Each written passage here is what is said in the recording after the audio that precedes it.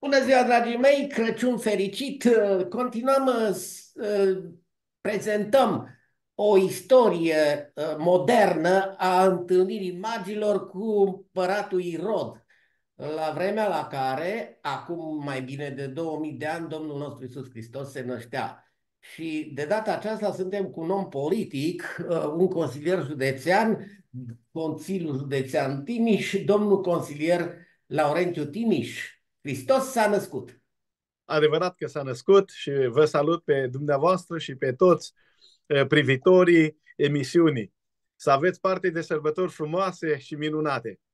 Evanghelistul Matei ne prezintă o chestiune foarte interesantă pe care uh, nu o să o citim ca la biserică, ci o să o citim în uh, parafrazare cu contextul istoric dat.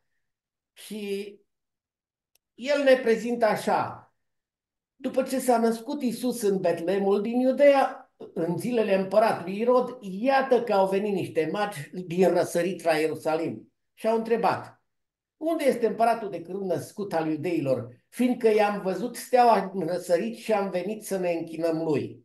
Când a auzit uh, împăratul Irod acest lucru, s-a tulburat foarte mult și tot Ierusalimul s-a tulburat împreună cu el. Uh, Până aici deocamdată, pentru că o să mergem mai târziu după ce facem niște comparații, niște paralele și spunem așa, uh, știința ne creează posibilitatea să înțelegem mersul vremurilor. Iată că Biblia, peste viacuri, ne atrage atenția că avem și noi irozii noștri. Se pare că acești conducători, împărați de România, dacă putem să le spunem așa, evident simbolic, nu altfel, sunt înconjurați de tot felul de uh, aghiotanți, fie consilieri plătiți foarte bine, așa am auzit acum recent de la un prieten că, de exemplu, cei care sunt aduși acum uh, merg la uh, în calitate de consilier la nivel de director adjunct de agenție. Fantastic, vă dați seama ce bine să fii consilier.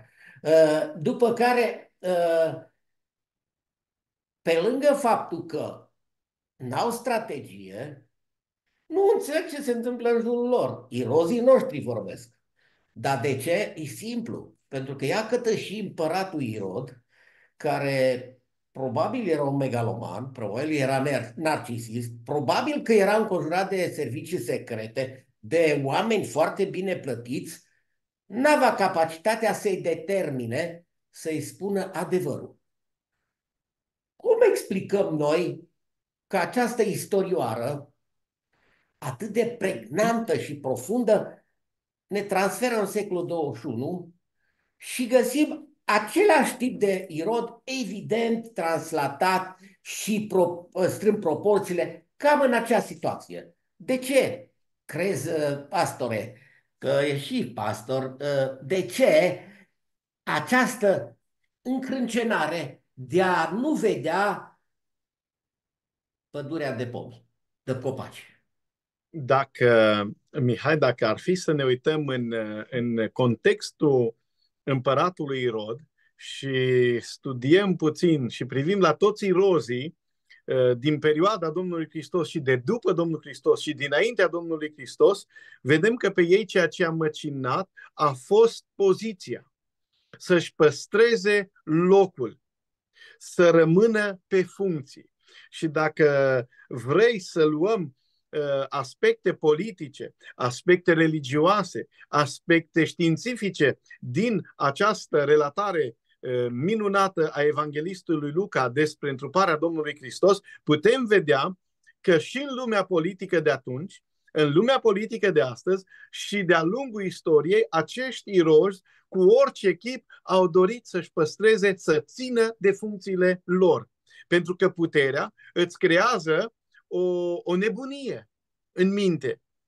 Și dacă ești înconjurat de niște svednici, de niște consilieri care tu ai un metru 62 și spun că ești marele basketbalist și în mintea ta de irod crezi că ești într-adevăr acest jucător, dar tu n-ai numai 1,62 și ești înconjurat de astfel de pigmei care în continuu știu numai să perie și să-ți facă dintr-un punct care avea un munte, ajungi la un moment dat chiar să crezi asta. Și vedem că Irod e unul dintre oamenii care a căutat cu tot din adinsul să-și păstreze funcția și să aibă în jur doar oameni care să-l apere, nu urmărind binele oamenilor. Pentru că vedem cruzimea lui Irod, ca să-și păstreze locul, a fost în stare să facă niște sacrificii pe care istoria le consemnează. Și dacă ne uităm în istoria uh, bisericii, se spune că vreo 14.000 de prunci au fost uciși. De ce? Din, din uh, uh Hai să nu ajungem până acolo, domnule. Nu anticipa niște lucruri care nu le-ai parcurs. Doar mă gândeam. Uh, Iată ce era cu la voce bază. Tare, cu voce tare. Ia să vedem ce s-a întâmplat cu România noastră dragă, cu irodul nostru președintele, că nu putem să-i spunem altfel. Uh, România... E funcție de conducere. Uh, e funcție de conducere și ca tare trebuie să o facem o analiză crudă. La un moment dat uh, sunt trei ziceri pe care le putem manifesta ca să fie o caracteristică a mandatului președintelui României. La un moment dat s-a spus că statul român a eșuat în a-și proteja cetățenii. E o afirmație extrem de dură, extrem de contundentă, dar una reală. A doua chestiune este cu azilele groazei. Este o rușine națională. Uh, e jenant când conducătorul face aceste analize. Și a treia, cea mai gravă, cu consecințe devastatoare și cred că la toate nivelurile, pentru că drogurile au pătruns peste tot, în toate cotloanele, te duci cu ele să le promovezi ca o chestiune de apărare națională în CSAT. Uh, Consiliul Național de Apărare și Strategii, sau cum îi spune, de apărare națională. Uh, cum e cu irodul ăsta? Cum e cu rodul muncii oamenilor politici? Asta nu puteți să nu vă asumați voi, oamenii politici, acest eșec. Eu cred că fiecare individ are responsabilități și are drepturi. Cu atât mai mult președintele țării. Noi avem datoria ca și țară creștină să ne rugăm pentru președinte. Iar președintele are rolul nu doar de a ne, de a ne reprezenta, ci are rolul de a fi un garant pentru democrația țării noastre. Mă gândesc că ceea ce se întâmplă în țara noastră, dacă ar fi să uh, facem o evaluare, o radiografie a ce se întâmpla înainte de anii 90 și ce se întâmplă în zilele noastre, nu cred că uh, aceste cazuri izolate cu căminele groaze, care, iată, sunt vreo 8-10 câte au fi fost. Eu nu cred, eu nu, nu cred asta. Eu nu cred. Îmi pare rău că trebuie să te contrazic, n-ai argumente. Sunt foarte multe. Pentru că dacă e să judecăm lucrurile cinstit, doar a fost un foc de paie. Atenție! Nu s-au făcut, nu, nu cred că s-au luat măsuri. Și asta pe mine mă sperie. Fii atent aici și acum prezentând sub forma care am prezentat, da. e o calitate a președintelui de a nu minți. Trebuie să fie garantul adevărului în țara deci, care l-a ales. Dacă noi am vorbit despre dezastre, el a prezentat lucrurile așa cum sunt. Este o calitate pe care alții n-au avut-o. Să fim foarte bine înțeleși. Hai să discutăm. Eu nu vreau să scuz pe cineva, Doamne ferește. Nu, nu, numai puțin. Dar... Hai să-ți mai spun una. Uh, în momentul când s-a dezbătut uh, la candidatura la prezidențiale între Emil Constantinescu și Ion Iliescu, la un moment dat președintele Constantinescu îi spune, domnule președinte, credeți în Dumnezeu? Da, sunt credincios. Uh, până și biserica și-a schimbat atitudinea și să spune în altă condiție că și-a schimbat dictondul crede și nu cerceta. Oare acest comunist care a adus numai rău României chiar a rămas la nivel de ignorant? Istoria a dovedit viața președinților noștri, iar președintele actual, deși este evanghelic, uh, cu calități și cu defecte, Eh, dacă e să facem această paralelă pe care ai sugerat-o cu Irod și cu președinții. Președinții de azi atât că nu mai sunt regi pe viață.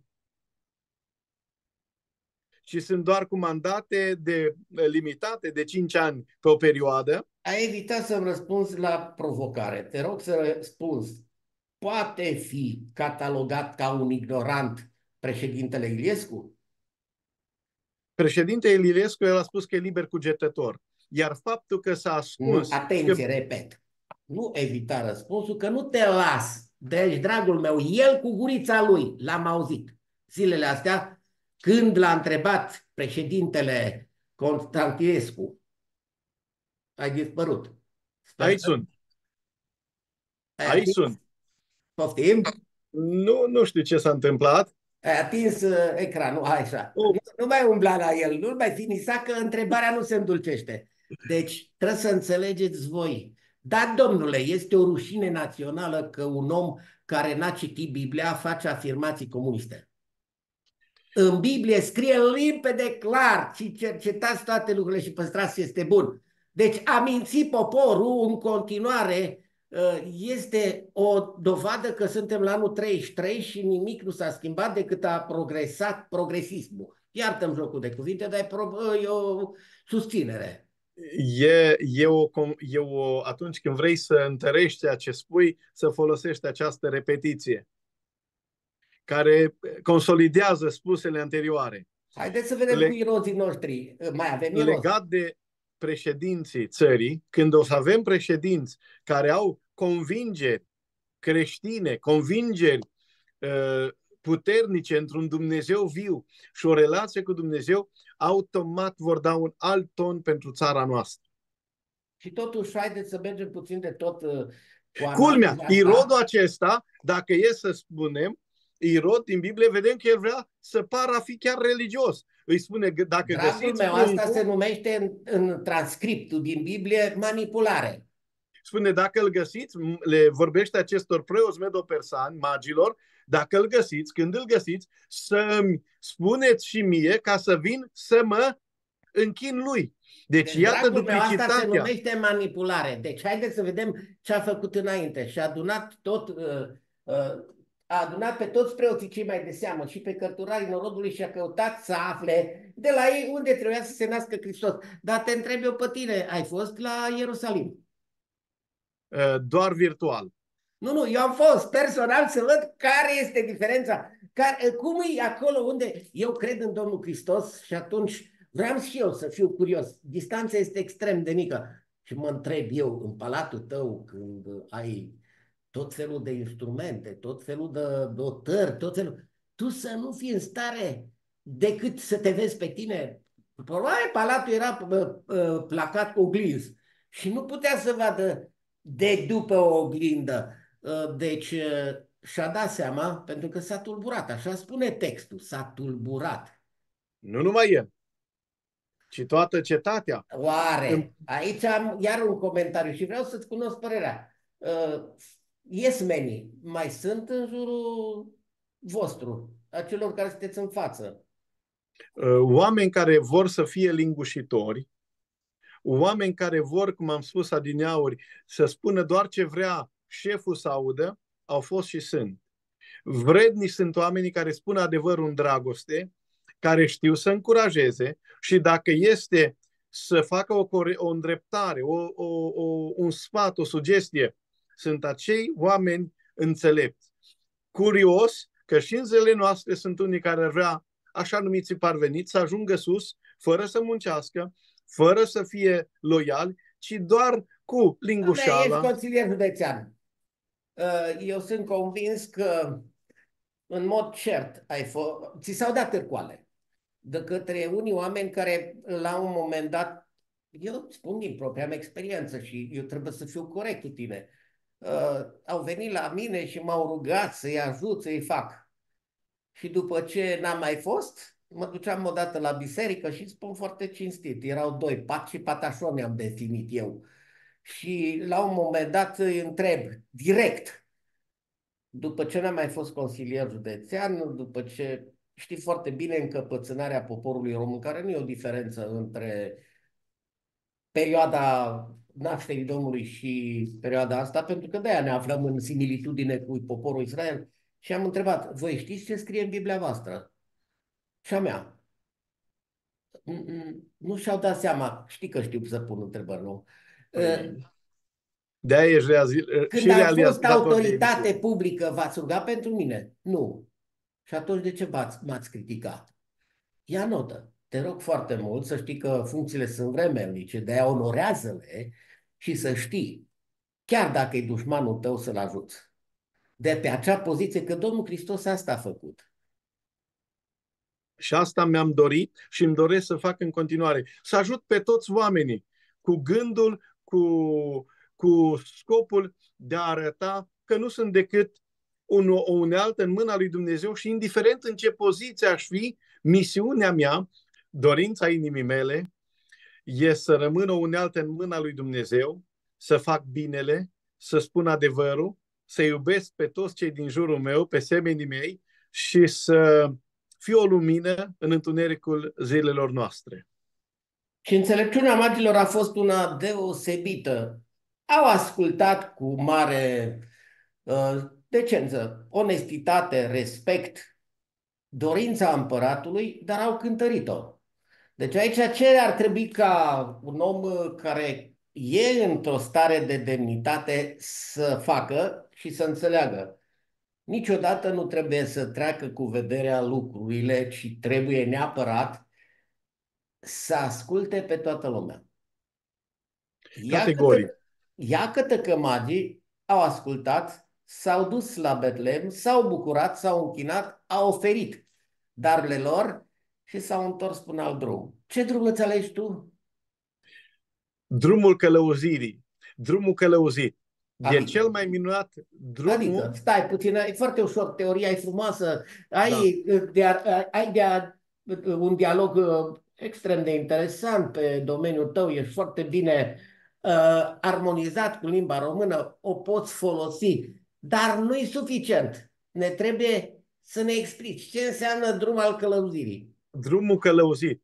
Uh, drumul vieții mele l-aș numi drumul sub uh, călăuzirea luminii. Uh, Domnul Hristos, iată, vedem că Dumnezeu le arată să se întoarcă, spune, au fost înștiințați de Dumnezeu să meargă pe un alt drum. Uh, și m-a întrebat care e drumul pe care eu vreau să merg. Care, ce înseamnă drumul călăuzirii? E drumul pe care Hristos ni l-a arătat. Să mergem în adevăr, să mergem pe urmele sale, într-o lume aurii și într-o lume în care se mănâncă unul pe altul, eu să răspândesc dragoste, să ajut, să sprijinesc și asta a fost uh, viața mea până acum în anumite aspecte.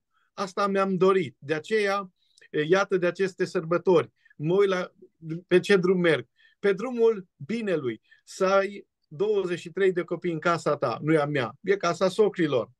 Să ai oameni la care ai mers cu o sacoșă de alimente. Să mergi la oamenii care de iată, de, de ani de zile, 3-4 ani de zile, bat drumurile la Consiliul Județean și pe la prefectură pentru a-și dobândi dreptul lor, pentru că au cumpărat o casă sau au cumpărat anumite imobile și terenul nu l-au putut obține. Cunoști domeniul tău, Mihai.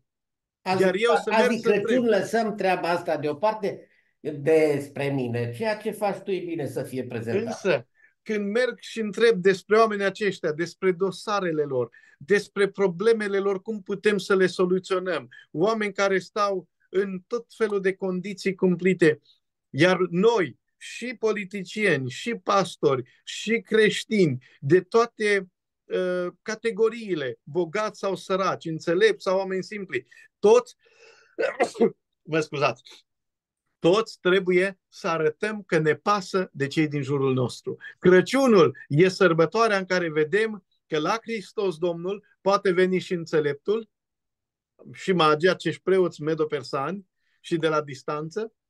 Au venit și păstorii, au venit și ființele angelice, îngerii și vedem că e interesat și Irod.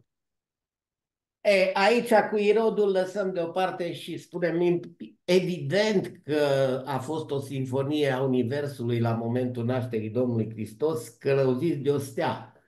O stea care e o stea luminoasă, o stea care a arătat un drum și la finalul acestei întâlniri de Crăciun, domnule pastor, te rog să te adresezi urmăritorilor noștri și să le dorești ceea ce ar trebui să înțeleagă despre această sărbătoare și ce ar vrea consilierul județean Laurențiu Timiș să le spună celor care ne urmăresc.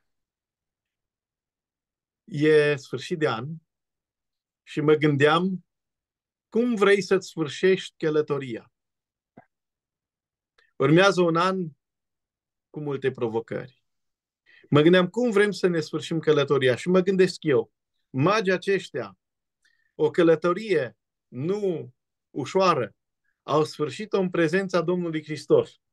Dar întotdeauna, dragi privitori, iubiți ascultători, iubiți creștini, dragi oameni, dragi români, când ajungi în prezența Domnului Hristos, El îți va da, prin descoperire dumnezească, luminându-ți interiorul tău sau prin un vis sau prin frumoasa Evanghelie, să mergi pe un alt drum. Pe un drum unde să vezi că Dumnezeu te binecuvântează și te folosește. Vă doresc sărbători frumoase în continuare. Să aveți un sfârșit de călătorie nu altundeva decât în prezența Domnului Hristos. Magii au, put, au putut să ajungă în prezența Domnului Hristos și și-au sfârșit călătoria pentru că s-au reconectat la lumina stelei neobișnuite. Dacă vrem un sfârșit frumos și împlinit în prezența lui Hristos, atunci să nu mergem după propria noastră intuiție, că au zis ei, e normal un rege să fie la palat. Să ne lăsăm călăuziți într-un mod dumnezeesc, într-un mod ceresc și călătoria vieții va sfârși frumos în prezența Domnului Isus. Și bineînțeles că în final nu putem să nu ne ducem la proclamația din Banat și să ne adresăm politicienilor, pentru că ei fac parte din societate, ei trebuie susținuți, ei trebuie corectați ca fiecare dintre noi de altfel și spunem așa, clasa politică trebuie pregătită pe baza principiilor de responsabilitate, calitate și eficiență, plecându-se de la principiul meritismului. Omul potrivit la locul potrivit pe baza meritelor personale. Astfel va deveni posibilă eliminarea nepotismului și a sinecurilor de partid, care au viciat societatea românească și au slăbit încrederea populației în sistemul politic și în virtuțile democrației. Soluția oferită de Domnul Hristos este generozitatea. Soluția oferită de El e modestia. Soluția oferită de El este înțelepciunea de sus, de care are fiecare român nevoie de ziua nașterii Domnului nostru Iisus Hristos. De aceea, Anul preelectoral pe care îl sfârșim și intrăm în anul electoral, noi l-am uh, încadrat în cele trei recomandări mari ale Domnului Hristos din predica de pe munte. Cereți și vi se va da. Bateți și vi se va deschide. Căutați și veți găsi. Doamne ajută să găsiți și voi steaua care să ne lumineze mintea, drumul și viitorul. Doamne ajută, Doamne binecuvintează România pe toți românii, oriunde ar fi, orice ar face, indiferent că sunt sărbători sau nu, și în așa fel încât să putem să construim și să îngrijim grădina Maicii Domnului, care este draga noastră România. La mulți ani români și să ne vedem sănătoși în anul care vine.